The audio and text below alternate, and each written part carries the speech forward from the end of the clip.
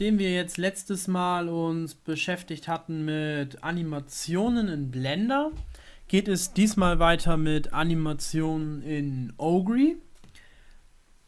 Und zwar, ich habe eine vorgefertigte Szene schon alles gebaut, die existiert schon. Die besteht aus einem Sindbad-Model, was äh, eigentlich nur vor einem schwarzen Hintergrund steht. Und da möchten wir jetzt, dass unser Sindbad, ich kompiliere das gerade mal, das dauert mit Ogre bei meinem Laptop leider ein bisschen.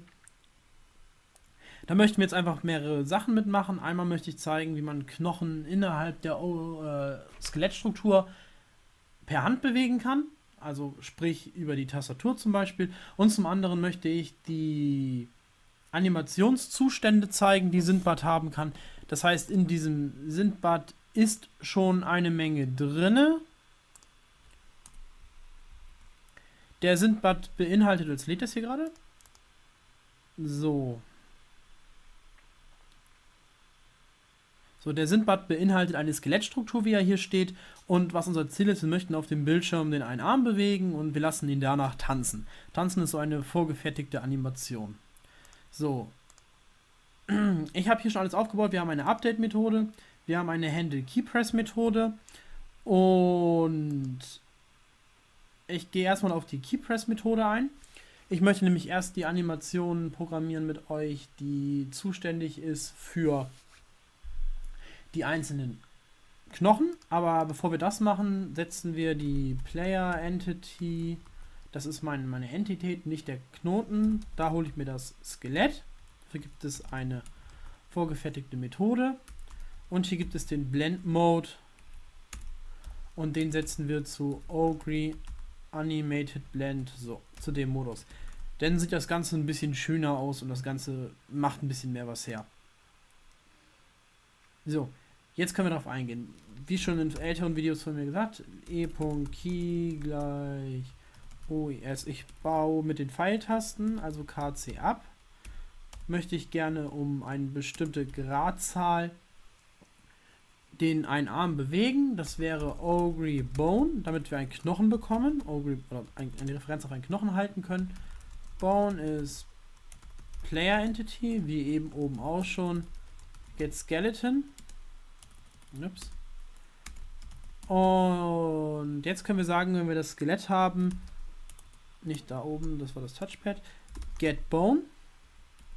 Und damit können wir uns direkt einen Knochen holen. Wir geben dazu hier einen Unsigned Short Handle an oder den Namen des Knochens. Äh, was ich jetzt hier gerne haben möchte, ist der Oberarm auf der linken Seite, also humerus.l. Da gibt es im Internet sicherlich ganz viele lange Liste zu, was es noch für Knochen gibt, die man bewegen kann. Ich habe mir jetzt einfach mal einen rausgesucht, weil ja, es passt schon. So, jetzt müssen wir erstmal sagen, dass der Knochen manuell kontrolliert werden darf. Also set manually controlled ist auf true.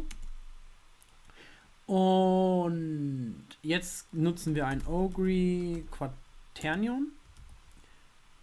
Nenne ich R. Das ist einmal Ogre Degree als erster Parameter, weil ich jetzt keine Lust habe, alles in Radians zu machen. Ich komme mit Degree immer ein bisschen besser klar. Hier gibt es halt den, den Radian, um wie viel wir das gerne bewegen möchten, pro Tastendruck im Endeffekt. Und wir geben noch die Achse an, um die wir drehen möchten. Ich nehme hier Ogre Vector 3 Unit Z. Bei dem Setup ist es wie folgt. Die Achse also erstens, wir haben in unserer Szene so, dass die negative Achse, also die negative Z-Achse in den Bildschirm reingeht, Y geht nach oben und X geht nach rechts weg. Das heißt, wenn wir jetzt um die Z-Achse drehen möchten, dann geben wir den, den, die Achse einfach an. Bei einem Quaternion ist es so, dass man einen beliebigen Vektor angibt, um den gedreht wird. Das ist so, so die, die Short-Form von was ein Quaternion ist. Das Ganze, wie gesagt, ein beliebiger dreidimensionaler Vektor und eine Gradzahl. Um, diese, um diesen Vektor wird mit der Gradzahl gedreht. Hat den Vorteil, dass das Gimbal-Lock aus Euler-Winkeln zum Beispiel nicht zustande kommt, dass wir da weniger Probleme haben.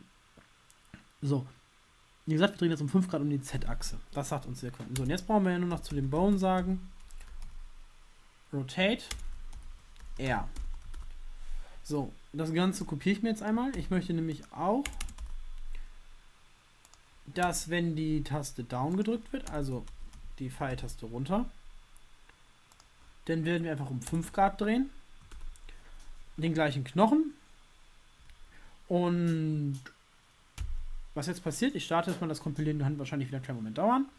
Sollte sein, dass wenn wir die Pfeiltaste nach oben drücken und nach unten der Arm entsprechend nach oben und nach unten sich gleich bewegt. Dazu noch ein, zwei Worte. Augury ist beim Rotieren und bei den gesamten Koordinaten immer in einer hierarchischen Form. Das heißt, was ihr angebt, ist immer im Koordinatensystem des Parent Bones. Darin rotiert ihr. Man kann auch angeben, dass das alles noch in World-Koordinaten passieren soll oder in Local, das funktioniert auch alles. Wie gesagt, standardmäßig rotiert ihr jetzt um, die Z, um die, das Koordinatensystem in der Schulter.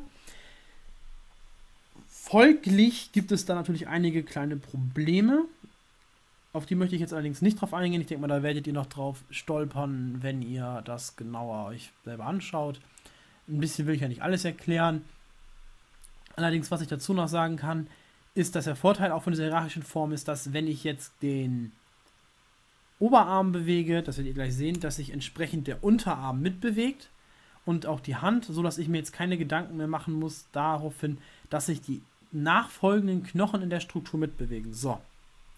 Unser Model ist geladen.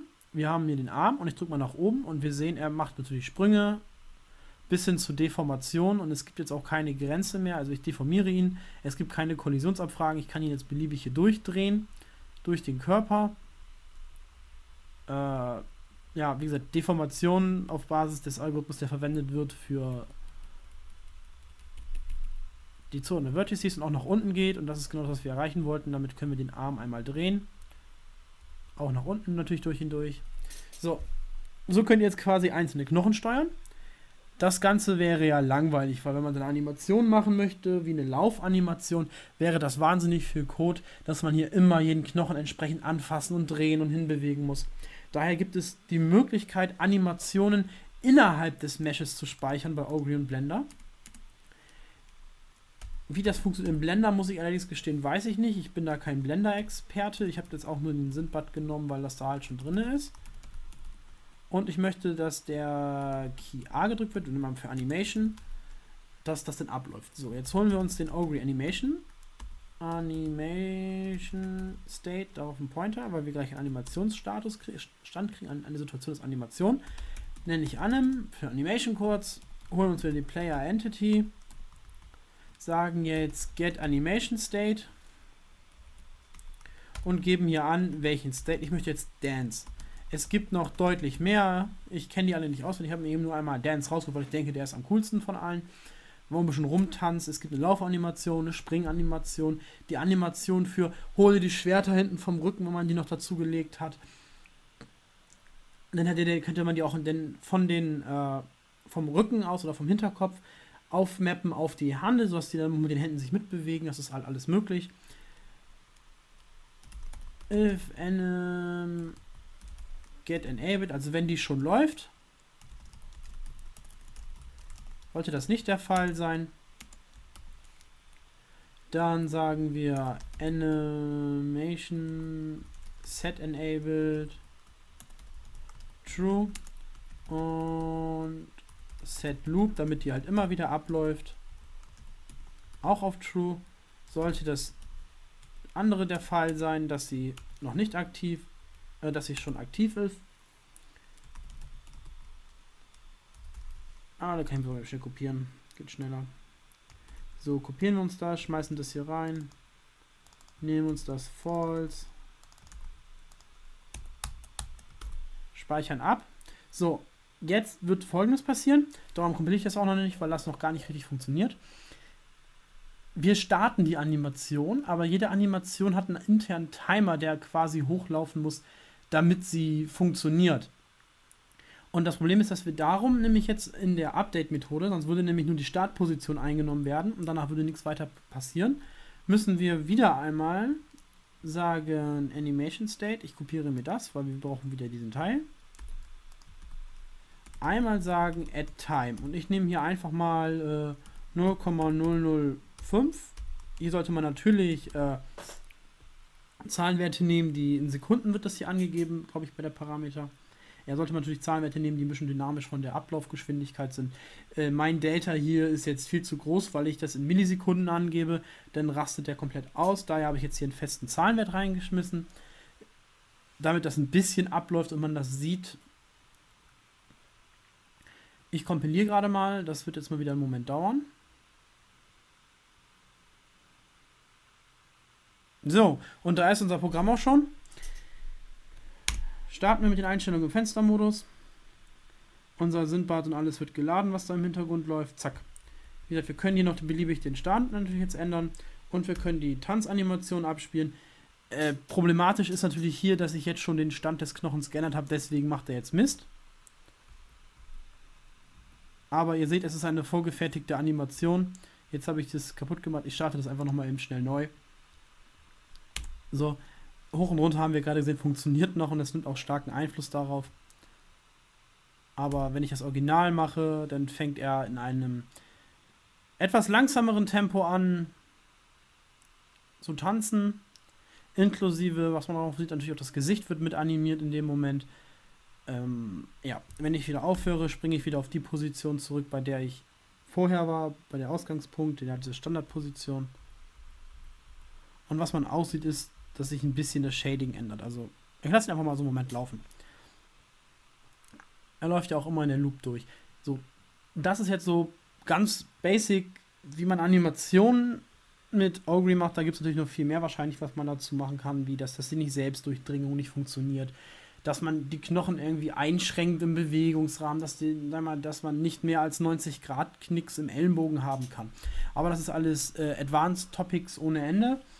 Und ich denke mal um die Grundlagen für Bewegung, Animationen. Das sind vorgefertigte Animationen in dem Model, die werden in Blender animiert. Die kann man einfach abspielen. Hier gibt es auch eine Laufanimation oder Run. Das sollte reichen. Und ich hoffe, ihr habt was gelernt und es hat euch Spaß gemacht.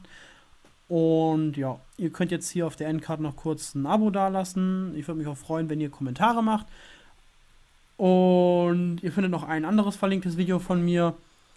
Und zwar das vorherige über die Animation in Blender mit der kinematischen Kette von dem Stäubli-Roboter. Und dabei wünsche ich viel Spaß. Bis dann. Tschüss. tschüss.